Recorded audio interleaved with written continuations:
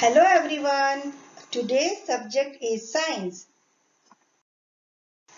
Today's topic is kinds of houses. We all live in a house.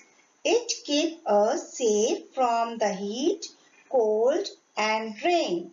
Houses are of many types.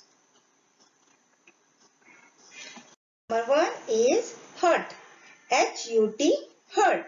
A house made of mud and straw are called hut.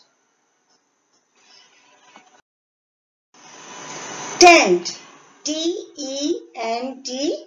Tent. T-E-N-T. Tent.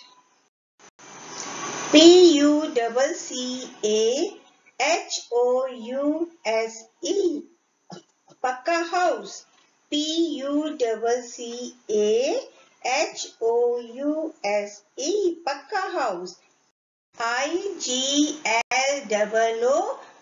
Igloo. I-G-L-O-O, Igloo. Houseboat. H-O-U-S-E-B-O-A-T, houseboat.